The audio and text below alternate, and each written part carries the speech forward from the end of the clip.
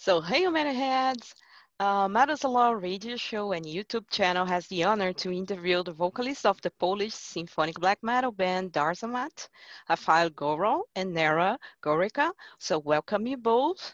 Thanks a lot for the interview, for being here. And my first question is, a Philosopher at the End of the Universe album is finally out, surprising the fans of the band after so many years of a wait.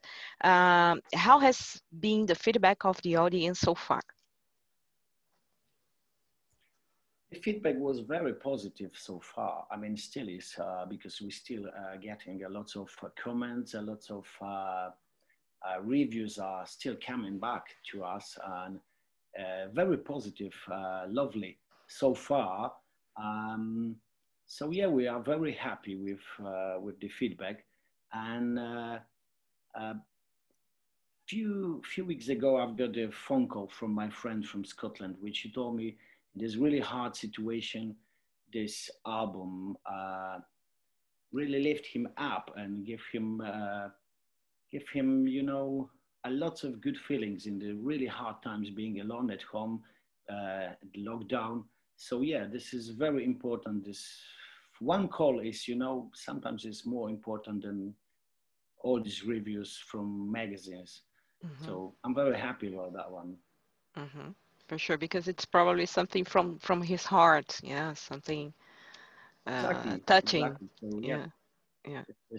you know, things, the situation like this are priceless, you know.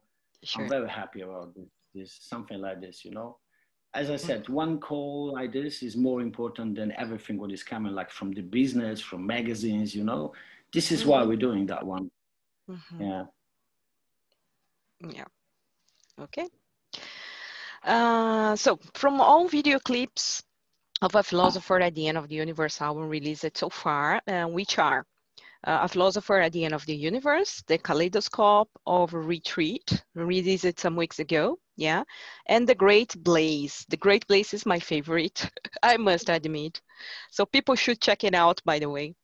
And Nera, your outfit is outstanding, and of course, the whole effect of it is incredible.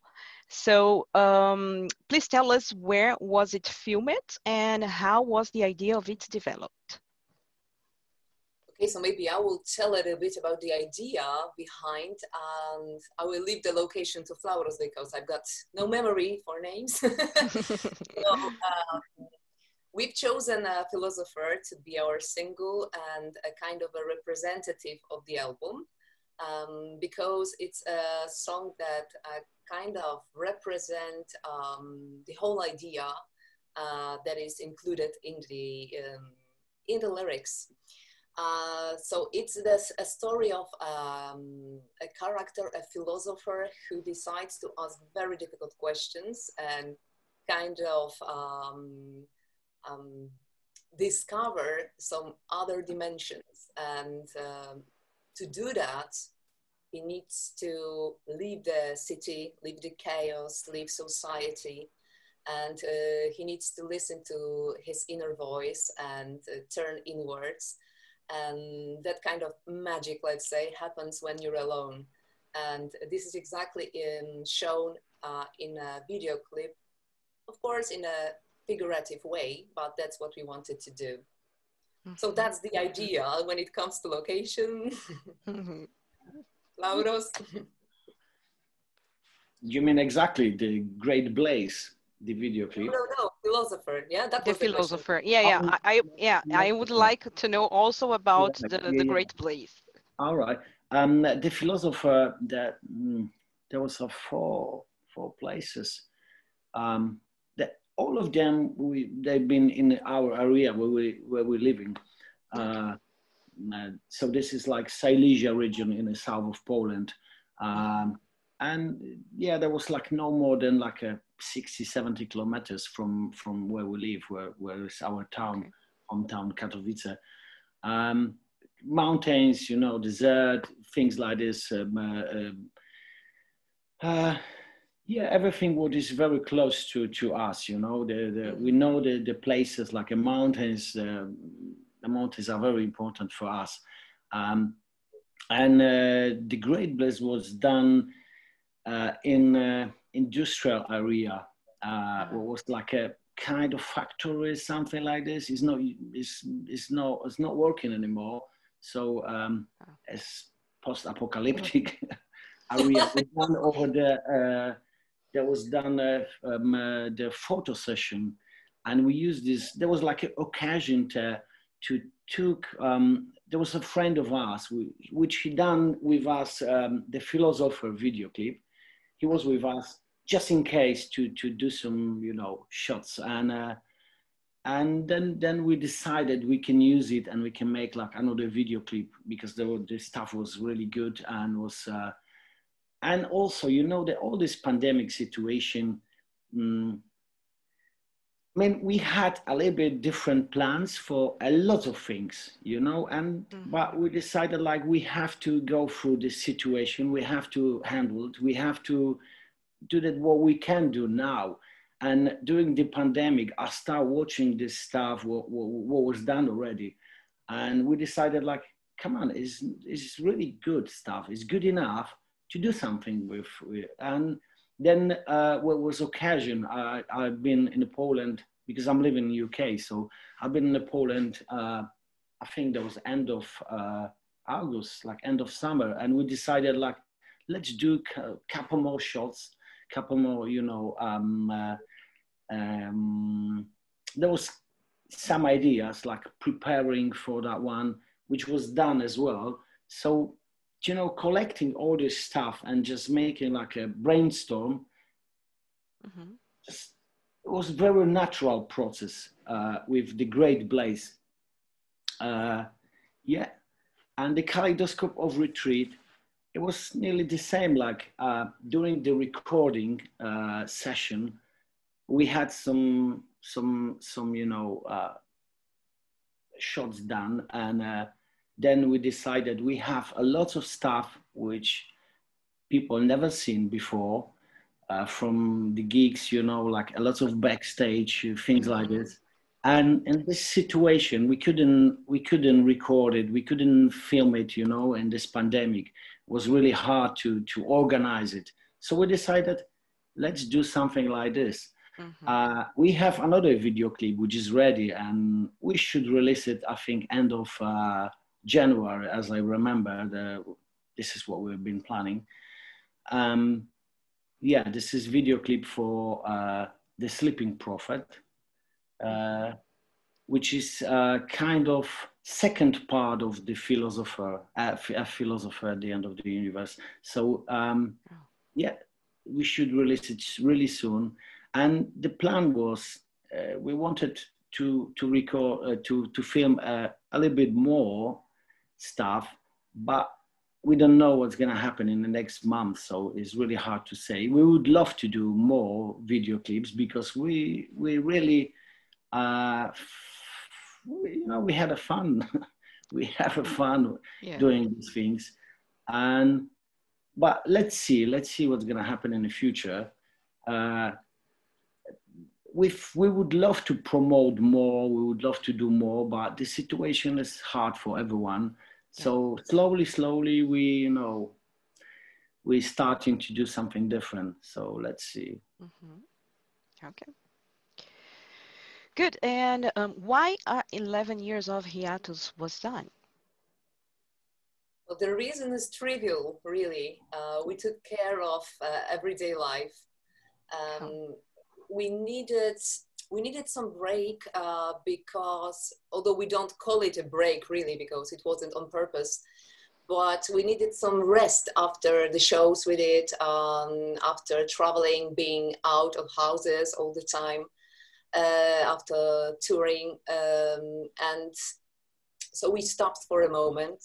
And then, you know, some of us started a family, some others had to deal with some uh, health issues.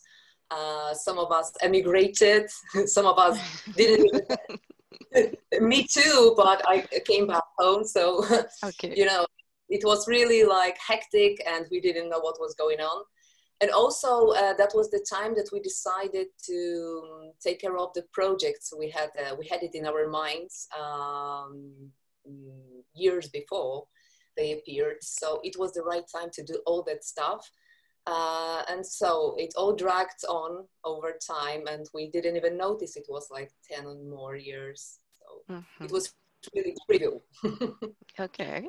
You know, during this time, like, uh, uh, I don't know, there was like 2005 and 2009, we released, I guess, oh, 2004, 2009, in five years, we released like, uh, I think, three albums and we yeah those very intense time for Darzamat. Mm-hmm. Uh, as Nera said, we had like I remember one year after Transkarpatia album, I think we we we had like a 60, 70 gigs in one year. And we have like professional jobs, you know, we're not we're not musicians. I mean like do you know what I mean? We have a yeah. different life, you know, as well, another life apart from band. So uh, it was really hard and uh, yeah so everyone needed you know this this this, this, this small time, break yeah. and the small break became like a long gap you know but yeah. we never we never forget about what we want to do and and came back yeah we, mm-hmm. we are back with the yeah music. and i'm happy that you were back really Good. So let's speak a little bit about the side project of yours. Yeah, Rafael is a writer, according to I've read. And could you speak more about it? Have you written a novel? Um, this is, you know, this is uh, quite complicated to. I mean, it's not much what I can tell now. Hopefully, next time when we when we when we have occasion to talk, I will tell you more. For sure. I I started, you know, I started to write some some things. I've been, I mean, I was journalist uh, for over ten years. Um, uh, I write poetry, I write lyrics. So let's say this is like a, it's a very important uh, part of my life, writing, and and it was inevitable that that they come to to do something much bigger you know? And i think i'm very close and uh, i'm very close because now we have another time off another lockdown. Uh, so probably maybe this year even uh, late this year i can i will have occasion to release. I'm working on something and uh, uh, you can find the sample you can find a sample of of of of this novel let's say uh, in a booklet of uh, for the new album. Yeah. So uh, this is everything what I can say at the moment. I'm working on that one with good friend of mine, which is um, we started like a, he was helping me with a translation, let's say things like this. But at the end of the day, he became like a uh, yeah author as well, like me, you know. Oh. So uh, we're sharing this being being author, you know, of the lyrics of this novel, and after many conversation, we decided to do to work on these things together. Yeah. Mm-hmm. Okay, good. So in the future, we're going to speak about it, hopefully. Good. And you, Nera, uh, has worked extensively on your project called Nera Nature. Could you speak more about it for the ones who don't know it? Okay, so Nera Nature was brought to life um, to be kind of a safety valve um, to express, you know, the emotions that uh, couldn't. That, that is what I thought at the at the time. Couldn't find um, place to to be presented in Darzamat. Uh, and I wanted the band to be mm, more uh, feminine, softer, uh, lighter, more sentimental, I would say. Um, and that's exactly what it was. Um, it was never, um, it was never going to be um, a regular band.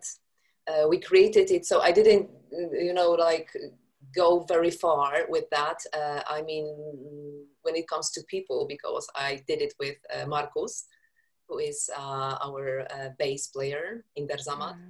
Uh-huh. So that was our uh, idea to do that. And um, yeah, as I said, it is a side project, and uh, I did what I did, and with a complete freedom because you know we we we do it uh, all the stuff we do uh, by ourselves we we don't uh, want any help or we don't any contracts labels and stuff like that mm-hmm. uh, so it's not professional that's what we do whenever we've got time and will uh, and um, well, the door is open. Uh, now I'm focusing, and so is uh, Marcus on Darzamat because it is like mm-hmm. more important for us and then a nature mm, you never know time will tell but not at the moment so it's not a regular okay bet. okay okay that would be my next question so do you tend, intend to go on with your side project you both but i believe you both already answered yeah i'm pretty sure yes but as nera said it's like but now is moment for Darzamat. you know it mm-hmm. was it took us a long time to to be back with Darzamat. Uh, I, we already, you know, we started like three years ago to work on this album. Uh, we didn't have any pressure, you know, we didn't have any contract, like a, you know, um, so so now we definitely have to you know focus on that one we, we really you know like our minds are into that one really mm-hmm. deep so uh, we already thinking about new albums so yeah, okay. it's time for the Darzamat now. Yes. Definitely. Okay. All right. So in the 90s, in the beginning of the 2000 uh, years, uh, was not that easy to see women uh, in black metal scene. So do you believe you have influenced other women to get into the scene somehow? Flauros, that's for you.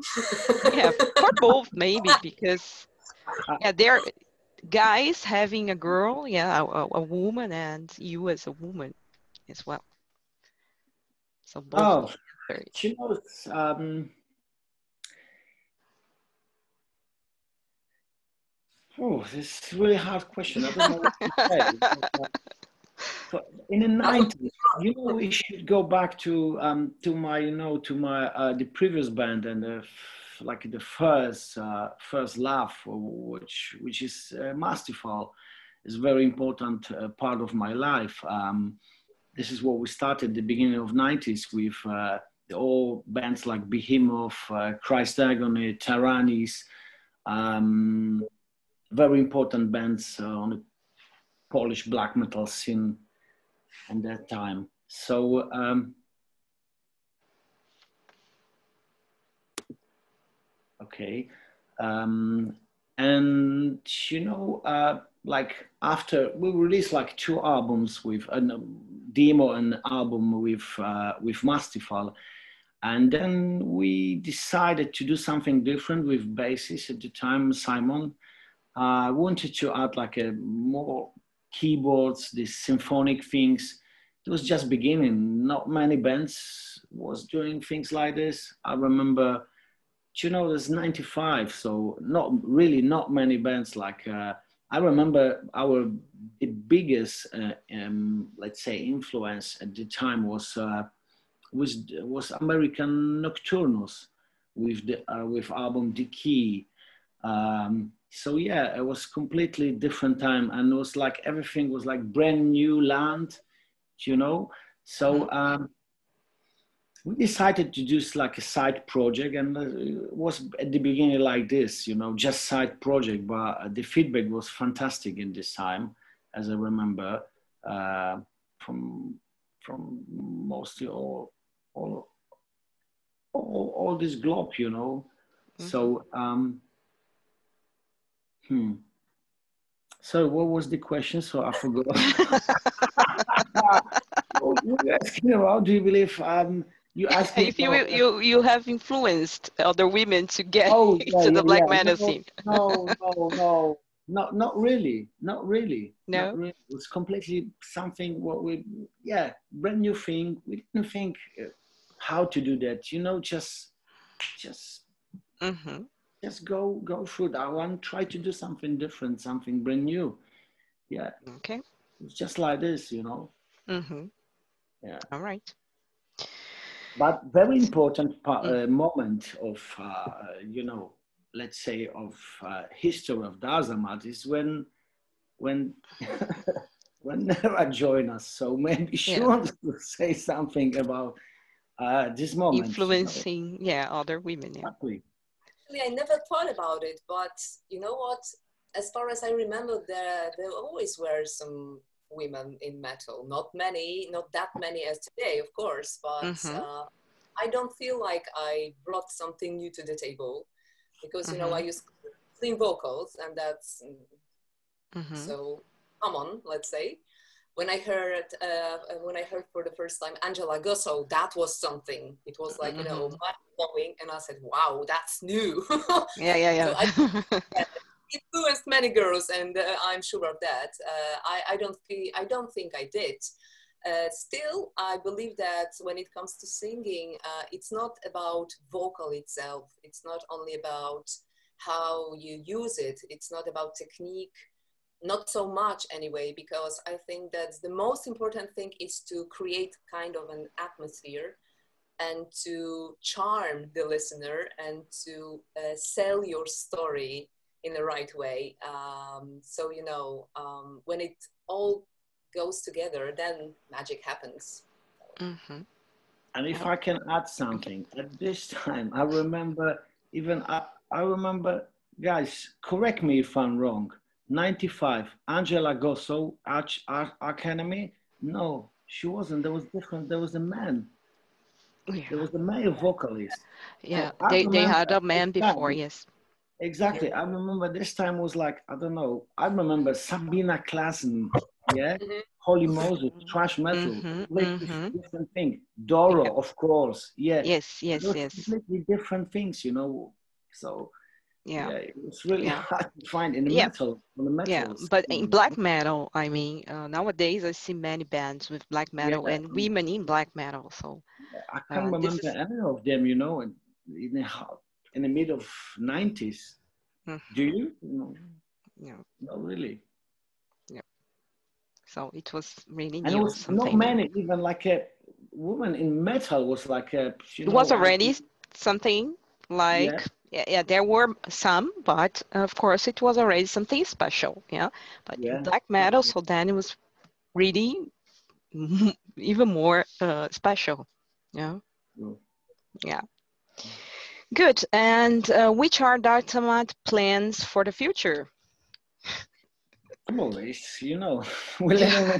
I know it's a hard question during this pandemic. Uh, I know that, guys. It's hard to plan anything, you know. We're just trying uh, we're living day by day. Um, but important is to say um, is we have uh, 2021, so we have a small anniversary this year. Oh. It's a debut, our debut album. Is, mm-hmm. It's all 25 years old this year.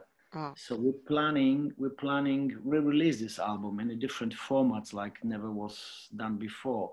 Mm-hmm. But let's see what's gonna happen in next, as I said before, next month. We planning to release it with uh, small some surprises, but as I said, let's see. If, um, but as I said as well, we started working on a new album already. We have uh, some new riffs, uh, some new words. I mean, some lyrics are done already um, maybe EP. So yeah, let's see. Oh. The plans are always, you know, big, huge, but um, the reality. Realization sometimes, right? exactly. yes. exactly. Yeah. yeah. Okay, good. And uh, which are your main influences as vocalists? Oh, as a vocalist. Mm-hmm. I remember always. Uh, hmm. I remember the gig in uh, Katowice back home as nine. I think it's uh, 1990. Um, uh, it was festival Metalmania, and uh, Mille Petrozza, Kreator, that was something very special, very unique uh, to me, and of course, Cronos uh, from Venom, uh, King Diamond. So I can't say it's like you can. what I'm doing is completely different, but what King Diamond was always uh, very important to me. And there's, you know, the albums um, like Abigail, which is, um, you know, something very, very important. And I'm, I'm, I'm, I'm, you know, I'm listening this album after, come on, 30 something, is 34, I can't remember exactly.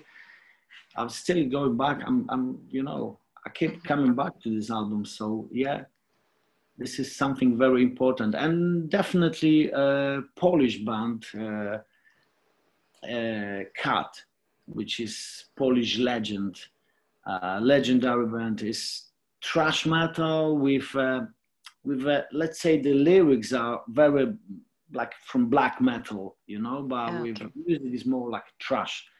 This is very important, I think, for all uh, Polish musicians, you know, metal musicians, let's say. Yeah. Okay. Good. And you, Nora? Very difficult to tell. Um, actually, I can't give you one name. Uh, I hardly ever listen to female vocalists, really, hardly ever. Um, maybe um, lately, but they don't belong to metal world, so I wouldn't give you a name anyway. So but my next question is about out of metal, so you can give me some names for the next question. no, because you know those influences are like when it comes to music, I can give you some some names, but uh, when it comes to vocals, I don't know. Uh-huh. And I uh-huh. never, I never, mm, you know, like imitate vocals. Yeah, yeah. I never. It was original from you. Yeah. yeah, I don't like it. Yeah. Mm-hmm. So sorry, I can't say anything. all right, no problem at all. So now, which are your influences out of metal? So now, out of metal. Yes. Do you still names? I'm so terrible when it comes to names. I will just tell you that um, I listened to I'm, and it really happened like um, a few years ago. I opened up to different kinds of music and it also showed me uh, some new vocalists I didn't know before. Um, uh, so you know, I listen to metal, but not that much as I used to. I mm-hmm. listen to jazz a lot. I listen to uh, blues, uh, trip hop, um, really different dif- different uh, kinds of music and different styles, and uh, especially those bands uh, that mix them all together. They're just great. I love it. So um, still, I can't give you one name, okay. but but I really am open to um, different stuff. The, the last thing that really uh, amazed me, and I'm uh, surprised, I will give you a name. I don't know her name, but her nickname is Ivor. Okay. Um, have you heard of her? No. No. Ivor, no. Oh, she's great. She's fantastic vocal, fantastic, and she can use it in a great way. So yeah, I gave you the name. okay, thank you. Sorry. and you, Hassan? Um, I love a lot of different music as well. Um, I love a few names but I have really one uh, kind of weakness, and this is David Bowie. Oh. I love it's a good guy. weakness, I believe. oh, it's, it's, it's, this, you know, this guy is, is, is really fantastic, you know. Yeah, it was. Yeah, yeah. but his music is still, you know, and mm-hmm. uh, yeah, this is, this is, if I have to choose this one, this is always David Bowie. Yeah. Okay. All discography, I love it. I remember when I've been a really young boy. Uh, there was 80s. It was this era, which was now when I can see, you know, the all the timeline. uh-huh. This is this this uh, let's dance, all these things, and it's not really what is the best for me but you know the, there was there was like 70s um, 90s oh everything everything yeah mm-hmm. okay i love this guy yeah, yeah. great Okay, now I have a situation that is a classical situation here, I might as well, okay? So you both are bad guys, got in trouble and had life imprisonment as a sentence, and you can have nothing with you but three albums that you can listen for the rest of your life because one of the guards of the prison is a nice guy and gave you this gift. So which albums would you choose and why, if there is a reason? Only three guys. Oh, I know it's hard. Eh, This is Lady first. ter- ter- terrible question. I know. Terrible question. Yes, I know.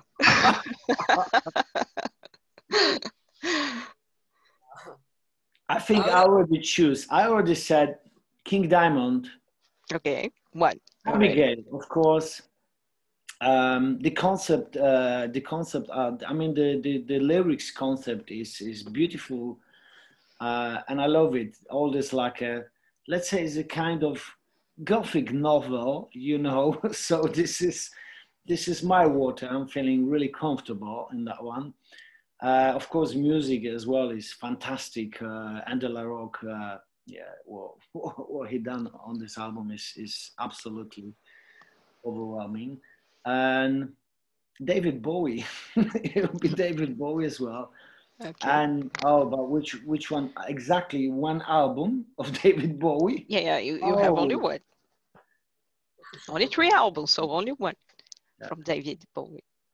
Um, yeah, I've, there, there'll be, I think wow. outside, outside, 95, outside, album outside. Yeah, definitely. Um, you know, Bowie, from album to album, he kept um, fans and uh, media, the, all the critics guessing about his next move. You know, this is this is hard to explain it. If you don't know Bowie, I mean, if you know Bowie, I don't need to explain you anything. You know, if you don't know him, it's just it's really hard to explain it. You know. hmm hmm So uh, he bring a lot of new elements to the rock music. So uh, from the you know, it was a it was a time that was an era which you know, who cares how I look, and Bowie changed completely. You know, hmm so it's, it's a lots of elements. You know, um, we're talking about 50 years career. You know, and a different you know moments. Uh, yeah. So yeah, but the one this the, only this one year the outside. No, you can you can have two albums of David Bowie. It's okay. You have three. I know, yeah, know. I know, but yeah. So Come on, I have I have it's okay. But this is going to be like this for the rest of your life. Just remember that. Abigail, you know, um, hmm, hmm. okay, now I have to choose the album, yeah, another one. So I keep coming back to them. So Abigail, Outside, and Slayer, Seasons in the Abyss. let's say. Okay. Of course, it's very hard to choose uh, the, another Slayer album. Is Yeah. South of Heaven, Hell Awaits. Uh, I remember, you know, um, I'm I'm 16, 15, something like this. Seasons in the Abyss. Yeah, that one. Yeah. Okay. Good. And you, Nera, you had time to think about. it was really hard. Uh, can I have four? Just like me, I cannot. Only three men. No. okay, we're running out of time. I know. Okay, so um, I'm gonna be boring, but I don't care. Um, first of all, I would choose something that really puts me in a mood always, and it's a soundtrack from Twin Peaks. So sorry, I said I was gonna be boring, but that's the one that really do me good. Um, does me good. Anyway, that one. Uh, also, I would go for Wardruna, and I don't care which one, or maybe one of the last three. Yeah, probably. And uh, my number one would be still my immortal thing, uh, Peccatum, because I love everything touched by Ihsahn. and that would be uh, Lost in Reveries. I love that album. I love that one. So that Okay. one for sure. The rest, yeah. Okay, it was easy for you. That that was good. good. And guys, to finish our interview, would you like to leave a message to your fans who are watching or listening to us? Sure. Laura, would you like to start? Uh, thanks to everyone who um, who support the band in the in, in the you know crazy times. Uh, it means a lot of to us. Uh, and we can say one thing: we're not planning anymore another 10 years break. we promise. we promise. A lot of people asking, you know, sending questions, comments like this. No, we promise no more break like this. Got it on the tape, so yeah. Yeah. yeah. Exactly. So, guys, thank thank you very much for this interview. Stay safe uh, and positive. This is the most important thing right now. Yeah, and we wish you a great year filled with fantastic music. And mm-hmm. uh, we hope we hope to meet you as soon as possible somewhere live. And greetings from the band. yeah, great. Okay, so thanks and a I lot. Think, and I think in the nearest future we will we will need more musician music and musicians than never before. So I think this is very important. Uh, the the people trying still, you know, creating something brand new, and it's mm-hmm. very important to to have a support from people and support the other bands. And it's lovely in this really hard year like 2020. We had we had a lot of good good albums. So I'm very glad about everything what, what people release. Yeah mm-hmm. and stop fighting, stop fighting, keep together. Yeah, yeah, yeah. Yes. Yeah, I mean the all metal scene, you know. Mm-hmm. For sure, for sure. Okay. All right, guys. So thanks a lot. I love it, the interview. So thank you all for watching and listening to us and stay heavy. Stay heavy. Heavy.